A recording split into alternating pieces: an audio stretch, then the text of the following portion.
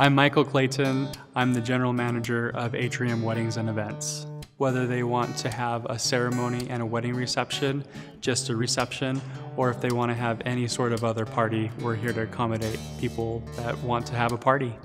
The problem that we were having was either we were having a large group of people in a room that wasn't quite big enough, or we were having a small group of people in a large room. So we expanded the space, but then we also needed to have a smaller room for a smaller amount of people. We were talking about the different ways that we could have a divider with all of our designers and our wedding planners, and we're talking about accordion doors or some kind of overhead door. And then I said, or we could do a sliding barn door. And all of the ladies in the room kind of all gasped at the same time. They all loved it. We knew that that's what it should be.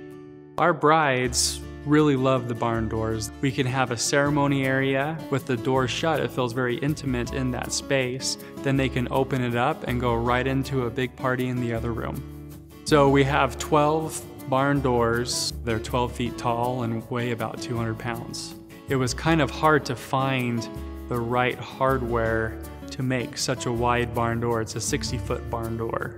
The track from Goldberg, they just said, yep, it will work, and here it is, where other people just kind of shook their head and said, maybe. So just the confidence level and yes, this is it and this is how it will work was for us the right way to go. It's been very easy to use. We've absolutely loved the Goldberg barn door track.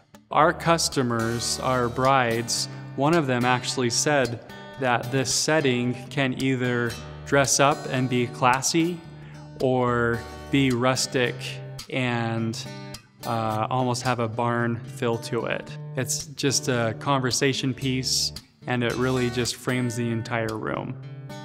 It almost is who we are now.